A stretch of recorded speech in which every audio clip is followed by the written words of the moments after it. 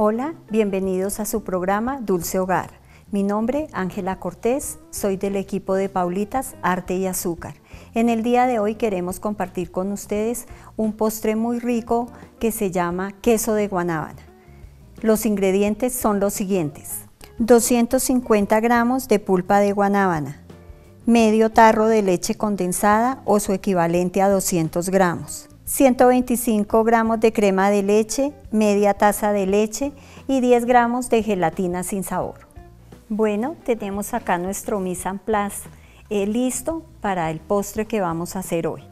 Lo primero que debemos de hacer es hidratar la gelatina sin sabor. La gelatina sin sabor nos dice que son 10 gramos de gelatina sin sabor, lo que quiere decir que se hidrata en 5 veces su peso, o sea 50 gramos de agua. La gelatina se debe de hidratar con anticipación porque ella demora de 3 a 5 minutos en hidratar. Entonces la vamos a dejar acá que hidrate. La gelatina siempre debemos tener en cuenta que se debe hidratar en agua fría. Bueno, entonces tenemos la gelatina tenemos pulpa de guanábana. Cuando no tenemos, cuando vamos a, despulpar la guanábana, debemos de tener en cuenta de que la guanábana no se nos oxide. En este caso nosotros hemos agregado un poquitico de ácido cítrico, una pizca de ácido cítrico y de esta forma no se oxida la, guanábana. También pueden utilizar eh, un cuartico de pastilla de vitamina C eso también evita que la guanábana se oxide. Entonces, eh, tengo la guanábana.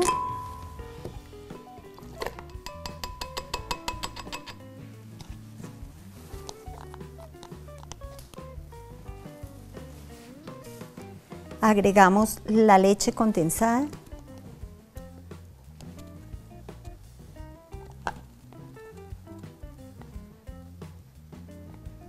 Y vamos a colocar a licuar estos dos ingredientes.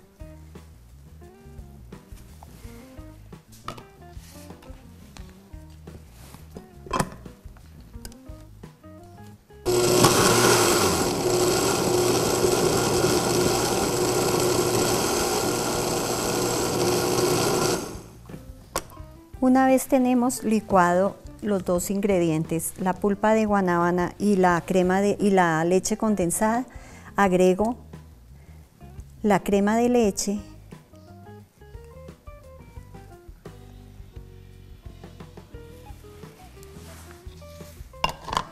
y la leche líquida.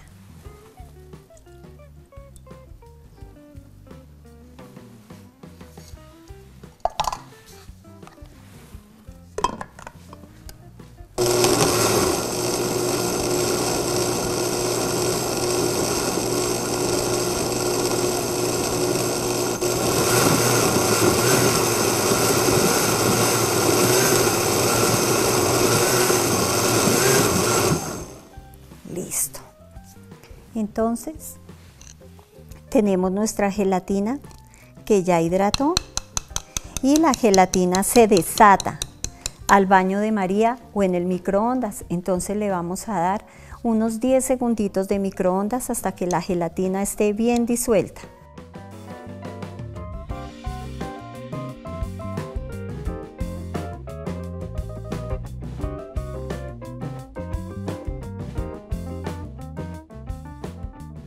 Bueno, tenemos nuestra gelatina eh, ya disuelta, debe de quedar líquida. Y vamos a temperar la, la mezcla de la gelatina. ¿Cómo atempero la mezcla? Agregando un poquito de la mezcla que tengo en la licuadora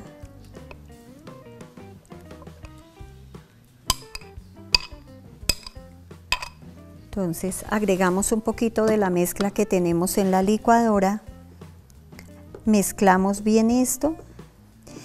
Esto se debe de hacer siempre, con el objeto de que los postres no nos vayan a quedar con grumos. Si yo no hago este atemperado, los postres van a quedar con grumos. Entonces ya quedó eh, nuestra gelatina atemperada. Entonces voy a llevar mi mezcla nuevamente a la licuadora.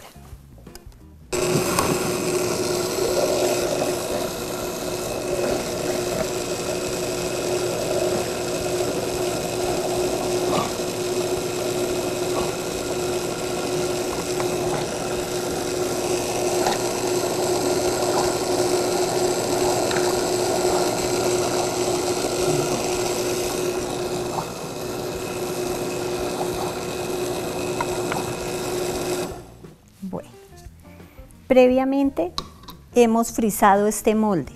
¿Qué es frizar un molde? Frizar un molde es, llevo mi molde al, chorro del agua, lo humedezco, lo sacudo y con las pepitas de, de, hielo que me queden, ahí voy a depositar la mezcla de mi, de mi queso de guanábana. Entonces vamos a hacer eso.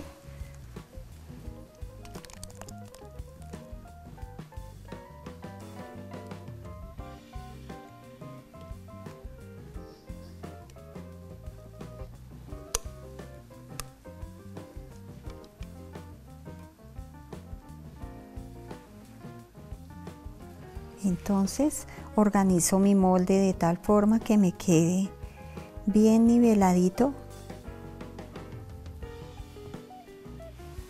y yo debo dejar refrigerar mi, mi, queso de guanábana de 3 a 4 horas en la nevera. Entonces vamos a llevar nuestro queso a la nevera.